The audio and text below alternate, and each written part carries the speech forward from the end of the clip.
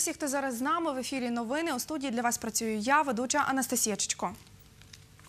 Близько 20 жителів будинку на вулиці Бережанська, 7 у Тернополі сьогодні протестували проти вирубки дерев за їхнім помешканням, де облаштовують екопарковку. Олег Лемега, начальник підприємства «Фавор- «Фаворит-2», яке обслуговує цей будинок, розповів, що у суботу, 1 вересня, 45 мешканців із 75, які проживають у будинку, проголосували за створення екопарковки. Деталі у сюжеті Світлани Шумної.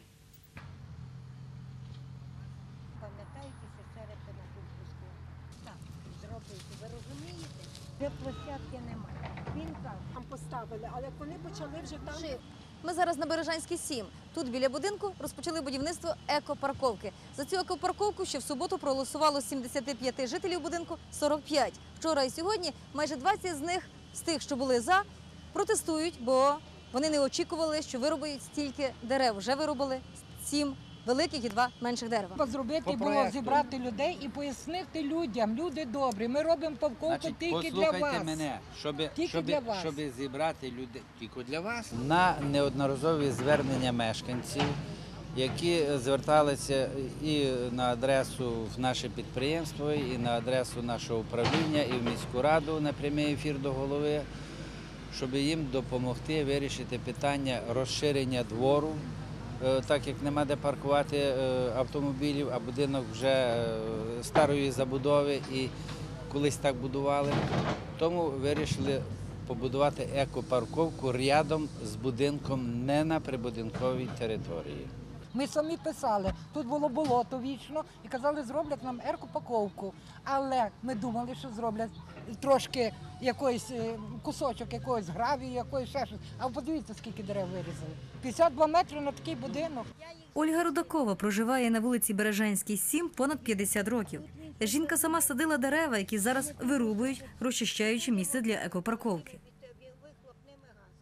Кого мені питати? Воно буде отак вийти, так? вирубка коло моєго будинку дерев, які садила. Я засе в 67-му році за- заселилася в цей будинок. І, це- і, і бачите, таке варварство. Я передзвонила, я шукала допомоги. Більшість жителів будинку висловилися за будівництво екопарковки. Та вони, розповідає Ірина Герман, не були попереджені про її розміри та вирубку такої кількості дерев. Це було сказано, що це буде е, парковка, екопарковка з вирубкою двох, максимум трьох дерев. Це все. А це, що вони вчора повалили 10 дерев, це не було ніхто повідомлений про це. І хочуть ще зрізати 8 дерев, бо тому що їм я не знаю для чого вони це роблять. Це не був ніхто. Люди цього не знають, і про це ніхто не був повідомлений. Підписи збиралися, але з відомом про те, що це буде зроблено два, максимум три дерева. Це управління житлово-комунального господарства міста. Тут у липні цього року розробляли проект екостоянки на вулиці Бережанська, 7.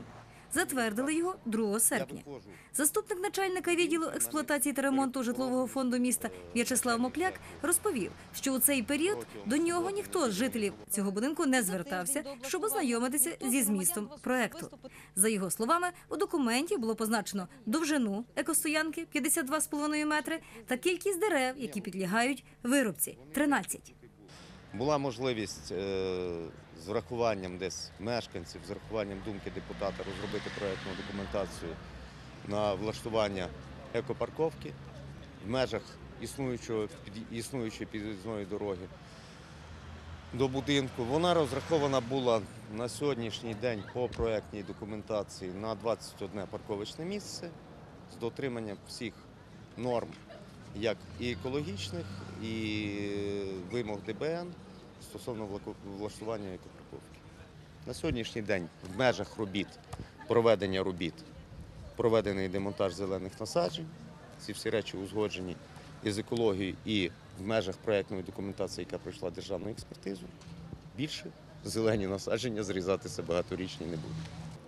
Світлана Шумна, Оксана Галіяш. Новини. 20 осіб взяли участь у пікеті Медведчук проти людей, який відбувся під стінами Тернопільської обласної прокуратури. Організував пікет член громадської організації Тернополя Вільні люди Василь Дякович. Також пікет відбувся о 15-й годині під Генеральною прокуратурою України у Києві, де знаходився член всеукраїнської організації Вільні люди Іван Ковалик з Тернополя. Він вимагає разом із іншими учасниками пікету прозвітувати про результати розслідування антиукраїнської діяльності Віктора Медведчука. Учасники пікету із фотографіями поета-дисидента Василя Стуса о 13-й годині зібралися під стінами Тернопільської обласної прокуратури. Як ми всі знаємо, е, його е, адвокатом на час судового процесу був відомий нам всім олігарх, тіньовий е, владар України Віктор Медведчук. Крім того, ви напевно всі знаєте, що проти нього в 2016 році один з суддів українських зобов'язав Генеральну прокуратуру е, розпочати е, судовий процес над ним за сепаратизм, за державну зраду і фінансування е, власне тероризму.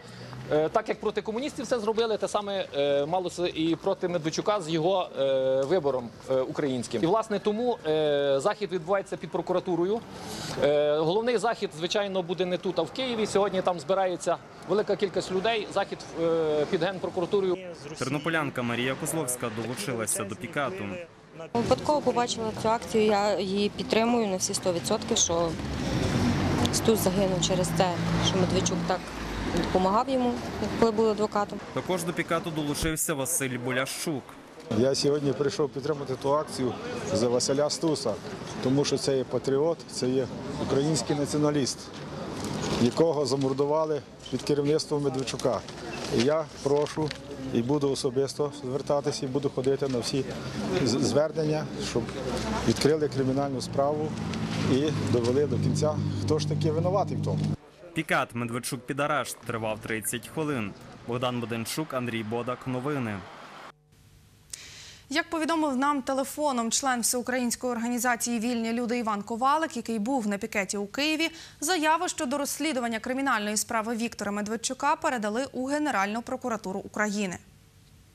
Відбулася акція в Києві. Взяли участь близько 200 активістів патріотичних організацій. На акції були присутні депутати Верховної Ради України Левус Андрій, Висоцький Сергій, е, Ганна Гопко, які зранку у Верховній Раді розвернули банер Медведчук під арешт та стоп реванш. Там з приставкою Стус чекає.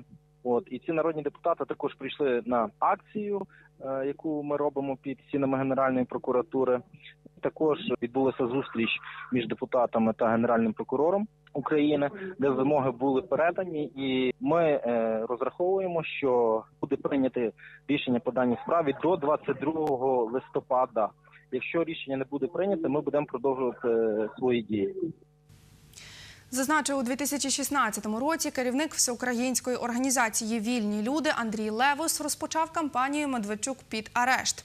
Він передав заяву до Генеральної прокуратури України, Служби безпеки України та Міністерства внутрішніх справ. Це понад 50 підписів народних депутатів, кілька тисяч підписів громадян, зібраних у 15 регіонах України. За арешт Медведчука у прокуратурі відкрили кримінальне провадження, але про результати розслідування не повідомлялось, каже Іван Ковалик. Дату розгляду справи вчителів Тернопільської школи мистецтв перенесли на 14 вересня. Сьогодні в окружному адмінсуді відбулось підготовче засідання. Позивачка Ірина Ленько розповідає, що трьох колишніх вчителів незаконно позбавили звання старшого вчителя. Відповідальності за це ніхто не несе. Зараз ми знаходимося під Тернопільським окружним адміністративним судом. Підтримати вчителів прийшли інші вчителі, батьки та адвокат. Іншу сторону представляв працівник обласного управління освіти. Троє вчителів колишньої Тернопільської школи мистецтв подали судовий позов на атестаційну комісію управління культури облдержадміністрації та школу мистецтв імені Ігоря Герети. Чим аргументувала атестаційна комісія третього рівня, чому нас позбавили? Провина не ваша, ви відповідаєте займаній посаді. Єдине, що управління культури не мало права атестувати, так як ви вчителі загальноосвітнього закладу, але не мистецького. Коли я запитую, в чому моя провина, Ну, вашої провини немає. Я сьогодні прийшла підтримати вчителів, оскільки е, ми, е, звичайно ж, розуміємо, що їх позбавили е, цього звання старшого вчителя незаконно. Це було тільки показове покарання для, для тих вчителів, які відстоювали своє право навчати наших дітей в школі мистецтв. Представник управління освіти облдержадміністрації з'явився на судове засідання. Спілкуватися з журналістами відмовився. Ситуацію прокоментувала начальник управління Ольга Хома. Дані категорії має повноваження надавати тільки атестаційна комісія управління освіти і науки. Управління культури може надавати старшого викладача. Тобто це те, що стосується мистецьких дисциплін. Даних вчителів ніхто не понизив в даній категорії, але їх не підтвердило управління освіти. Поясню чому. Тому що дану категорію вчителі отримували в управлінні культури, яке на той час не мало ніяких прав надавати відповідні категорії. Ми не зняли, але не підтвердили. Головний спеціаліст обласного управління культури Василь Коваль телефоном повідомив, що комісія третього рівня, яка атестувала вчителів, діяла законно без жодного порушення. Чоловік зазначив, що мистецька складова школи була у їхньому підпорядкуванні, тому вони мали право проводити атестацію. Сторона школи мистецтв на судове засідання не з'явилася. Зараз невідомий статус закладу, тому не зрозуміло, хто правонаступник. Через це суддя не має кого зобов'язати виконати рішення суду. Засідання перенесли на 14 вересня. Представник е, відповідача один е, за можливості надати в судове засідання наступне відомості щодо ліквідації, реорганізації, ну відповідно довідку з реєстру, що станом на час слухання справ відбувається з тою школою мистецтв. Тоді 14 е, вересня 2018 року на 10 годин 30 хвилин. Судове засідання оголошується закритим.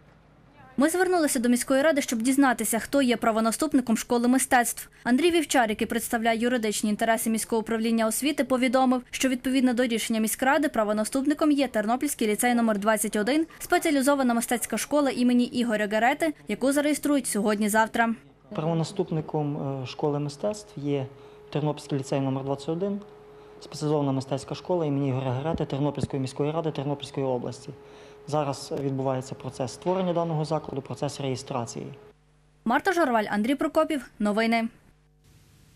І поки що це всі новини. Більше дивіться в наступному інформаційному випуску о 19 годині. Побачимось.